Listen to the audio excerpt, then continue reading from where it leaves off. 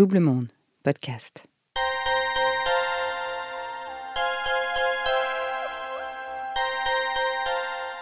Vous écoutez la suite du témoignage de Carolina. Si vous ne l'avez pas fait, je vous recommande de commencer par le premier épisode. Vous écoutez 40, le podcast. N'hésitez pas à vous abonner sur les plateformes et à nous suivre sur les réseaux sociaux de Double Monde. Alors bonjour, Carolina Ritzler. J'ai 44 ans. Il y a quelques années, à l'âge de 38 ans, je crée une marque qui s'appelle Carolina Ritzler, spécialisée dans la combinaison, avec des combinaisons qui portent un numéro d'année. Euh, on est sur un monoproduit. Bref, la marque euh, marche extrêmement bien. Elle est distribuée dans le monde entier. On habille énormément d'artistes. Euh, le tourbillon est là. Il s'opère. Je me retrouve entourée d'associés. Je ne me retrouve plus et ne peux plus exprimer exactement qui je suis. Je décide de partir.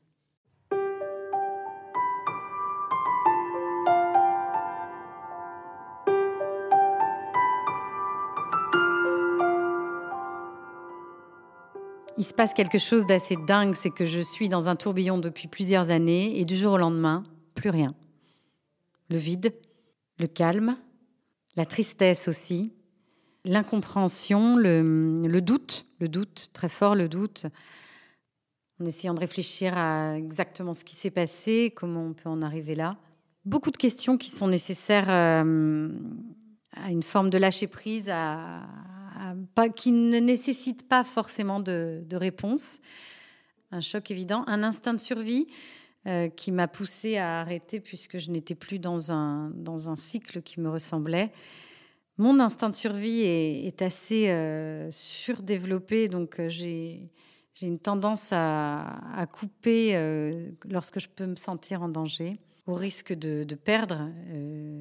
la sensation d'avoir tout perdu aussi, la sensation d'avoir créé quelque chose qui ne m'appartient plus, qui ne m'appartenait plus d'ailleurs, ce qui était le cas, le nom que je ne pouvais plus utiliser, qui était mon nom patronymique, le nom de mes enfants, le travail effectué, l'énorme travail effectué et, le vide. Ça, a vraiment été une période très très compliquée.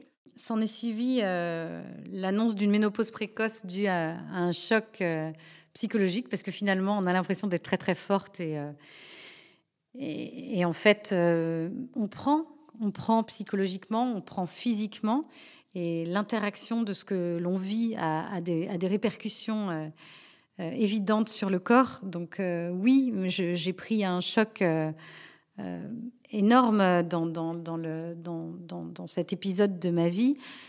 J'ai beaucoup d'humour en règle générale, donc je prends, je, c'est une vraie porte de sortie, c'est-à-dire que ma légèreté passe par l'humour. Je peux tout dire euh, avec de l'humour. Donc évidemment, quand je pars euh, courir parce que je trouve que j'ai pris un petit peu de poids euh, et que je passe par le labo chercher mes résultats et qui me dit, je dis mais qu'est-ce que c'est que ce truc là d'hormones de, de nana et qui me dit ah mais c'est la ménopause. et là, je rigole, je lui dis Ouais, ça va bien maintenant, vous arrêtez de vous foutre de moi. J'ai un petit running à faire. Euh. il me dit Non, non, mais c'est vrai. Moi, je lui dis Écoutez, monsieur, non, en fait, hein, c'est pas la peine d'être désagréable comme ça devant tout le monde. Il y a d'autres gens, j'ai pas vraiment envie qu'on entende ça. il me dit ah mais si et il me dit vous savez vous n'êtes pas ménopausée comme une euh, comme une euh, vous êtes ménopausée vraiment enfin bien quoi bah, je dis eh, ça va bien maintenant oh vous êtes désagréable je m'en vais je vais courir. Alors là, je peux vous assurer que je cours, je cours, je cours. Hein. Je cours limite à en avoir la nausée. Hein. Je cours et je me dis, mais c'est pas possible. Mais ça veut dire que ma peau va flétrir, que, que, je vais prendre 10 kilos, que euh, je vais perdre mon désir, que je vais devenir moche et que qu'est-ce qui va se passer? Mes dents vont tomber peut-être? La catastrophe. Donc je vais sur des sites, évidemment, ce qu'on fait quand on, quand on apprend un truc comme ça. Alors, ménopause, ménopause précoce, alors... Oh là là là là Puis là, on découvre des trucs épouvantables euh, qu'il faut surtout pas lire, hein, parce que finalement, on est toutes différentes. Et puis, euh, je crois que la façon de, vieillir, déjà, c'est la, manière dont on l'accueille. La joie que l'on a au fond de son cœur fait qu'on accueille tout d'une manière euh, personnelle. Il y, a, une personne ménopausée à l'âge de 60 ou 40 peut avoir le même visage, en fait. On est tous différents d'une manière génétique, d'une manière psychologique, d'une manière mentale, d'une manière physique, de tout. Donc, tout ça, ça ne veut rien dire. Mais tout de même, il y avait sur cette analyse des, petites, euh, des petites, euh, enfin des choses qui disaient que j'étais dans ce démarrage. mon médecin traitant me dit euh, Bon, on va refaire une analyse parce que vous êtes tellement bizarre, Miss Ritz. M'appelle Miss Ritz. Vous êtes tellement bizarre que vous seriez capable de ne pas. d'avoir un dosage totalement normal dans deux mois. Parce que vous êtes lié à vos émotions. Donc, effectivement, le dosage avait changé. Mais quand même, j'étais pas ménopausée comme une femme de 60 ans, mais j'étais en préménopause qui était complètement activée. Et ça, il n'y a pas de marche arrière. Donc. Voilà, euh, ça, ça fait partie des petits trucs sympas de la quarantaine. Alors en général, on te dit que ça vient plus vers 48, 50, voire 55. Euh, Et puis euh, certaines femmes ont un étendard en disant Moi, 57, je ne suis toujours pas ménopausée. Oui, effectivement, ça arrive aussi. Et puis il y en a d'autres à 42 qui se tapent une ménopause précoce. Et finalement, pour être très honnête, bah, ça change pas grand-chose. Si ça change, si, bah, si, si, ça change le fait qu'on ait quand même des états émotionnels qui font des up and down importants, euh, qu'on a chaud, qu'on a froid. Euh, évidemment, j'ai pas du tout envie de prendre quoi que ce soit pour que ça change. J'ai pas non plus envie d'en parler des heures. Le truc, c'est que ça fait partie euh, de quelque chose qui nous pousse à comprendre qu'on passe vers une autre décennie et que euh, les 20 ans sont derrière, les 30 sont derrière, euh, les 6 années de création de la, marque euh, sont derrière, et que maintenant, je peux regarder un petit peu où je suis, prendre de la hauteur et, regarder devant peut-être. Et je suis encore dans, dans, cette expérience de démarrage. Mon démarche encore aujourd'hui, il se passe des trucs de fou tous les jours. je pense qu'il faut garder la foi en permanence. Et puis, il faut garder la foi, mais il y a quelque chose qui est vraiment important.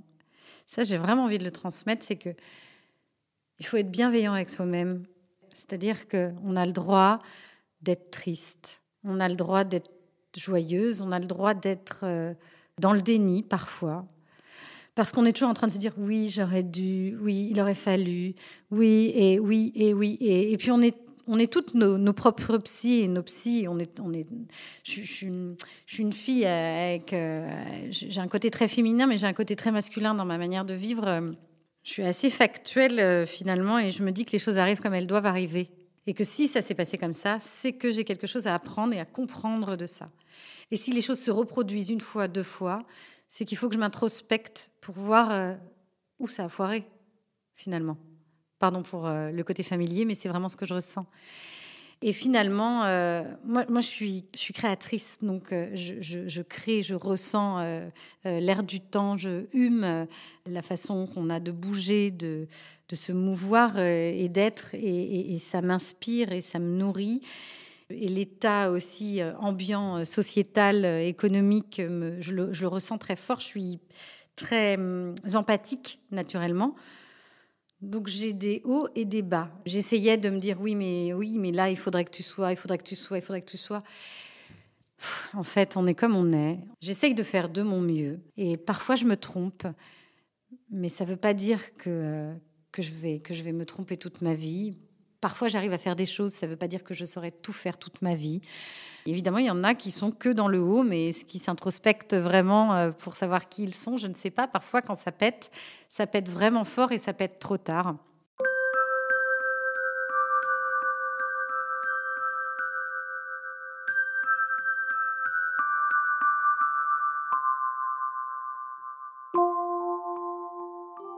Quand je quitte euh, donc ma, ma, société, il se passe cet un délai de un an, un an et demi, donc où je suis dans ce vide et je j'ai cet état euh, créatif qui est toujours là, mais avant je créais beaucoup et là je me retrouve finalement à ne plus créer du tout.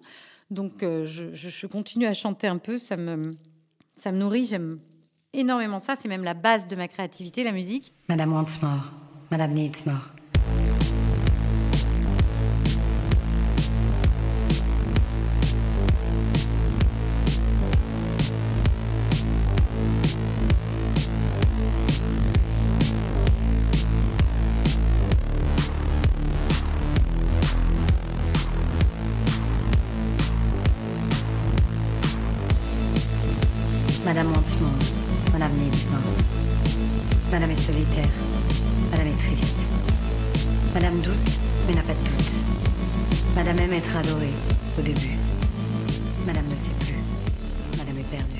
Je, me, je, ressens l'envie de peindre. Alors je ne suis pas du tout peintre hein, à la base, hein, je ne sais pas trop mon truc du tout même. Sauf que j'en ai envie d'une manière, mais c'est pas possible comme j'en ai envie. Je peux pas l'expliquer pourquoi, j'en ai envie comme de boire un verre d'eau. Et j'en ai envie de la même manière que j'ai eu envie de faire des combis euh, sept ans auparavant, euh, sans savoir pourquoi j'en avais envie. Donc, je l'accueille. J'ai une copine qui me dit arrête de dire que tu as envie de peindre, viens peindre. Et je me mets à faire euh, des toiles qui sont un peu bizarres. Je n'ai pas réfléchi à ce que j'allais peindre, mais je fais des traits et des ronds. Quelque chose d'assez graphique qui est totalement l'inverse de, ce que je dégage en termes de personnalité, où on va me dire que je suis très volubile, complètement bordélique, euh, border. Mais je ne sais pas où, se situe le paradoxe, mais toujours est-il que je, crée des choses très graphiques qui ont énormément de sens pour moi et qui euh, m'apaisent et le fabricant avec qui je travaille depuis le début euh, continue à me faire des modèles euh, pour moi, euh, des, nouveaux modèles que je crée. pas que des combis, je fais, je fais un peu de chemise, un peu de pantalon, des combis, des petites pièces comme ça que, je, que je fabrique. Évidemment, toujours avec la même patte, parce que je ne peux pas m'empêcher d'être moi-même. Hein. C'est pas parce que j'ai quitté ma société que je vais faire des choses qui sont radicalement différentes, sinon je me mentirais à moi-même. Mais des nouveaux trucs qui m'apportent qui, me font du bien aussi. Et puis, euh, je redémarre petit à petit, un pas après l'autre, comme si je réapprenais à marcher. Et la vie fait que je me retrouve euh, à explorer un lieu qui est assez hors norme et, une personne euh, extraordinaire, d'une bienveillance incroyable, qui devient mon partenaire. Mais c'est plus une histoire d'âme qu'une histoire d'associé. Là, on n'est plus du tout. Je, suis incapable d'ailleurs de, de, reproduire ce que j'ai déjà vécu. Et je redémarre une histoire qui s'appelle Madame C, parce que euh, j'ai envie de parler de toutes les madames. Alors j'écris un manifeste euh, sur qui est Madame, qui évidemment résonne avec ce que j'ai vécu et ressenti durant euh, toutes ces années. Et, c'est la Madame qui a envie de, jouir des plaisirs simples du quotidien. Alors ça va être Madame aime le soleil, Madame aime le café, Madame n'aime pas tailler ses crayons, Madame aime ce qu'elle n'aimait pas la veille, Madame aime l'odeur du feu, Madame aime être monsieur. Madame aime, Madame n'aime pas. Madame, Madame aime. Madame aime les fauteuils à bascule. Madame aime qu'on la bouscule. Madame aime, Madame aime les bagues et les bagouzes. Et à la fin, c'est Madame aime monsieur, qui aime Madame, qui aime monsieur, qui aime Madame. Mais monsieur pourrait aimer monsieur, alors Madame aimerait Madame. Il est 2h14. Madame aime sa liberté. Madame est universelle. Fin du manifeste. Et en fait, là, j'en ai raconté des petites bribes, mais le manifeste dure trois minutes et il est vraiment euh, connecté. Euh, Madame aime le clac des talons dans la rue. J'aime, Madame aime l'odeur de la pluie. Tous ces petits bonheurs qui font que, hop, ça nous éveille un sourire. Hop, à un moment donné, on a envie de se lever le matin. Ah, il y a un rayon de soleil qui perce à travers euh, les volets et qui va rentrer dans la chambre et qui, on va le regarder, il va nous rendre heureux. En fait, juste l'odeur du café le matin ou c'est ça, en fait, le bonheur. C'est pas euh, être rempli de, de, de, milliards ou alors de, millions de, Je ne sais pas, en fait, qu'est-ce qui fait exactement, pourquoi on a besoin d'autant accumuler, accumuler, accumuler. Mais quand on arrive à détecter ces petits instants qui font que qu'est-ce qu'on est bien quand on les voit. ah là là, ça c'est madame en fait. Et alors ça c'est madame... Euh, cadences qui correspondent en fait à des modèles que j'ai envie de, de, créer pour toutes les madames qui aiment justement ces petits détails de la vie. Et il va y avoir la ligne décadence qui va, euh, qui va être le négatif, qui va correspondre au down dont je parlais tout à l'heure, les up, les, les down, euh, et qui va accueillir ces états émotionnels un peu plus sombres et donc là, c'est un autre, euh, c'est Madame, Madame et Border, il est 3h33, Madame et Border. Et là, ça a été, euh, on a créé avec Cécile De Laurentiis, qui est designer de son incroyable, un son électro euh, sur Madame et Décadente, en fait, qui s'appelle Décadence. Madame C, Carolina Ritzler, que vous pouvez trouver sur Deezer, Spotify, voilà, partout, qui, qui est sorti là au mois de juillet et donc, Décadence seront une ligne de collection. Donc, il y aura Cadence, modèle destiné à être porté tous les jours. Décadence, une ligne un peu trash, un peu border pour, euh, euh, le, négatif de chacun. Alors, ça peut être n'importe quoi. Une combi entièrement en vinyle transparent, une combi avec des plumes, des pieds à la tête, euh, une envie d'habiller les artistes, une envie de lâcher prise à ce côté un peu qui déborde, en fait, un peu trash, moins lisse, sans cadre. Donc, en gros, il faut un cadre, mais il faut pouvoir en sortir.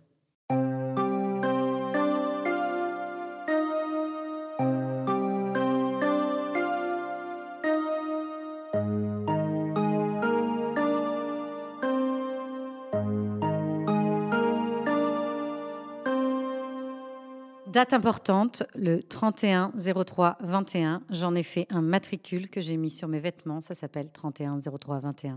Et en fait, j'en ai même écrit une chanson qui n'est pas sortie parce que parce que c'est tellement un plaisir d'écrire. Mais 31 03 21 était une date très importante. Euh, j'ai récupéré le nom, Carolina Ritzler. Donc, Madame C. La signature de la marque, c'est CL. Madame C. Tel, c'est Carolina Ritzler. Il s'est avéré que le jeu de mots s'est opéré alors que ce n'était pas du tout prévu. Mais le nom a été récupéré. Aujourd'hui, je suis en train de muter les deux. Je ne sais pas si je vais prendre l'un ou l'autre. Je pense que Madame C est la cliente. Caroline Ritzer est la, est la créatrice qui propose ces modèles à Madame, à toutes les Madames d'ailleurs, qui peuvent être d'ailleurs dans ces phases de mutation que l'on peut connaître à 40, mais que l'on peut aussi connaître à 20 ou à 30. J'ai quand même ce qui se passe particulièrement à 40, c'est que à 40 ans, on est en conscience que l'on mute, alors qu'à 20, on se laisse porter. Il y a une espèce de, prise de conscience, de prise de hauteur, qui, euh, parce que c'est un petit peu comme l'âge de raison à 7 ans. Vous voyez ce que je veux dire? Euh, on, a compris, on a compris, on a vécu un petit peu, on s'est trompé, on s'est relevé, et puis on va peut-être se retromper et se relever à nouveau. Finalement, qu'est-ce qui est grave? Il n'y a rien de grave à part euh, d'être là en bonne santé et de donner de l'amour aux gens qu'on aime. Je suis intimement persuadée Aujourd'hui, on est dans un local euh, extraordinaire au cœur de Paris. Demain, on sera peut-être ailleurs. Euh, les collections arrivent. Je suis en train de redémarrer, mais en même temps, finalement, je continue l'histoire que j'ai commencée. Finalement, rien ne s'est arrêté, en tout cas pas dans mon cœur. Mes toiles sont devenues l'identité visuelle de la nouvelle marque. Elles me servent aujourd'hui euh, pour plein de choses. Je pense que tout ce que l'on vit voilà, le puzzle que j'avais démarré est en train de se reconstruire. Tout ce que l'on vit a un sens. Et parfois, on se dit que ah là là là là là là, mais qu'est-ce que je fais là? Où est-ce que je vais aller? Qu'est-ce que ça va m'apporter? Alors que tout ce qui est en train de se passer, on ne se rend pas compte tout de suite, mais a un sens peut-être pour demain, dans dix ans ou dans deux heures. On ne peut pas le savoir.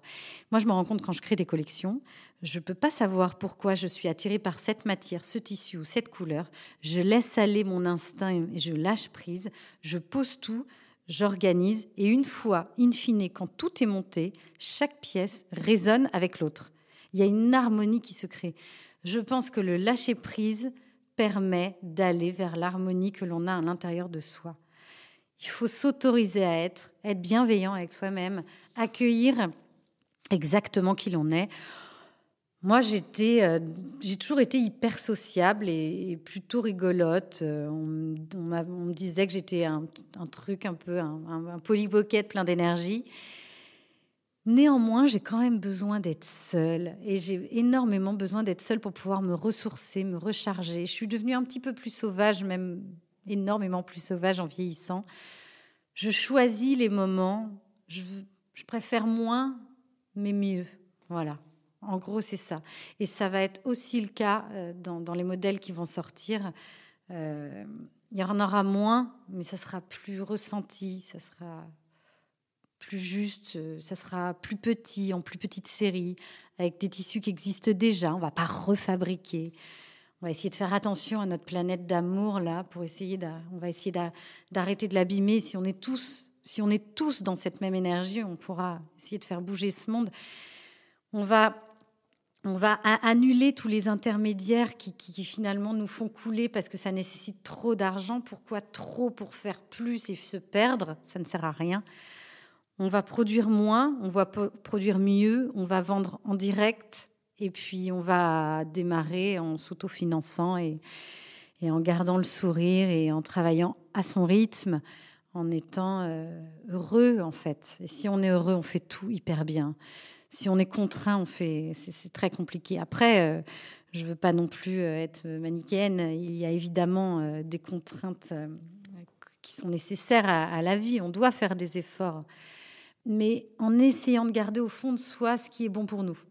Ça, c'est vraiment le message que j'ai envie de faire passer. Et je terminerai par euh, une rencontre incroyable que j'ai faite euh, en créant cette, euh, cette, nouvelle marque, en fait, qui est la continuité. Donc, en continuant cet état créatif, je, vais à la rencontre de gens magiques et magnifiques. Et donc, Un jour, il y a une femme qui appelle, je ne citerai pas son nom, mais elle appelle au téléphone. Alors le téléphone, quand il sonne, on est tous un petit peu émus. Qu'est-ce qui se passe? Le téléphone sonne. c'est tellement rigolo. Et donc elle appelle et elle prend rendez-vous pour le lendemain. Et donc j'entends au téléphone qu'elle a une voix d'une femme d'un certain âge quand même, mais sans pas, plus. Et je vois une femme arriver, euh, effectivement très âgée, euh, qui marche avec une petite canne, mais à, peine. Hein. Et elle, rentre et elle me dit, oh là là, euh, vos pavés de la cour sont certainement plus âgés que moi. Et là, je regarde cette femme et je lui dis, mais vous êtes incroyable, quel âge avez-vous, madame? Permettez-moi de vous demander votre âge si c'est pas indiscret. Elle me dit, j'ai 94 ans, je vais dans ma 95e année. J'ai vu vos modèles euh, dans une émission de télé. J'ai regardé le générique, j'ai tellement aimé, j'ai appelé mon arrière-petite-fille et je lui ai dit, voilà, euh, ça s'appelle Madame C. Paris. Elle me dit Écoutez, grand-mère, allez-y, euh, c'est à telle adresse. Elle me dit Je suis dans le septième, je bouge jamais, j'ai pris le taxi, je suis venue vous voir. Alors là, le, cadeau que m'a fait cette femme, en fait, j'étais tellement émue. Elle m'a raconté énormément de choses sur la vie, sur l'amour, sur les gens, sur, sa, sur son histoire de vie. Et je suis émue à rien que d'en parler parce que, en fait, j'avais l'impression que j'étais dans une urgence de vie et que tout allait s'arrêter demain et que j'aurais le temps de rien. Et en discutant avec cette femme qui avait plus du double, de, enfin qui avait plus du double de mon âge, j'ai pris conscience que je pouvais revivre le même nombre d'années sans les 15 premières années où tu es quand même pas du tout libre de tes moyens, quoi. Ça veut dire, tu te rends compte? Alors là, oh, c'est fou quand même. Ça veut dire que j'ai le temps. J'ai le temps et j'ai pas le temps. Alors je vais essayer de trouver cette, cette, cette, cette alternance essayer d'avoir cette, euh, cette justesse qui nous manque tous et qui est liée à nos bouleversements hormonaux. Mais cette femme m'a fait passer un message en me disant, ce que j'ai appris en vieillissant, c'est évidemment l'amour qui, qui, est le plus important dans tout ce que l'on fait et ce que l'on vit. Et que euh, le plus important, c'était d'aimer les gens comme ils ont envie d'être aimés de demander aux gens que l'on aime comment ils ont envie d'être aimés. Vous venez d'écouter 40. Ce podcast est produit par Double Monde. Merci à Adrien Stiefel pour le montage et à David Rampillon pour la musique. Réalisation et narration, Marjorie Murphy.